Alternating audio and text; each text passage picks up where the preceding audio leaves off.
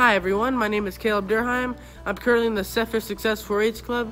I've been showing sheep my entire life and today I'm going to teach you guys how to select and also how to work your lambs to get them ready for fair. So we have four sheep I'm here today.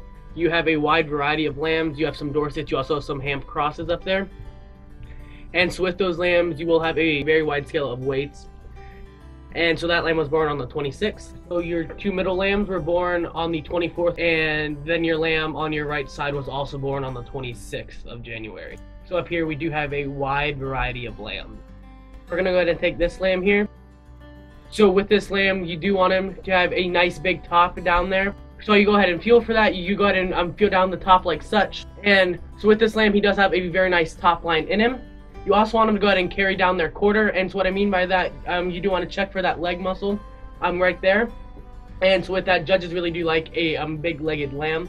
And so you also want a straight top line down your sheep. You also want to make sure your sheep is nice and long because a shorter bodied sheep will not have as much meat.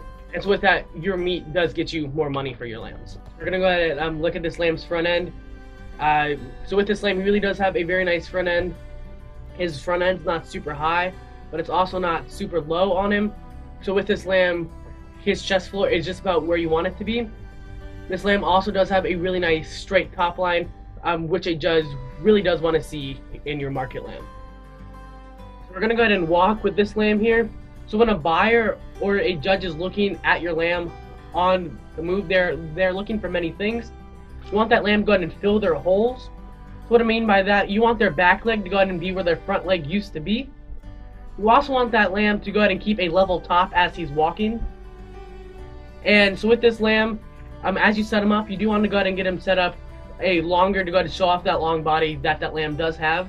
So you want that lamb to go ahead and um, run uphill for you. And you also just want that lamb to go ahead and put all those pieces to work.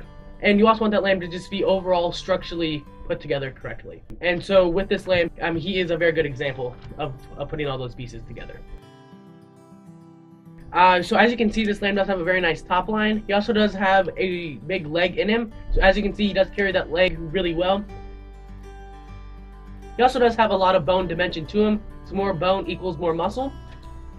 So we're also going to go ahead and look at his neck juncture. So he does have the nice L shape, which you want in that show lamb.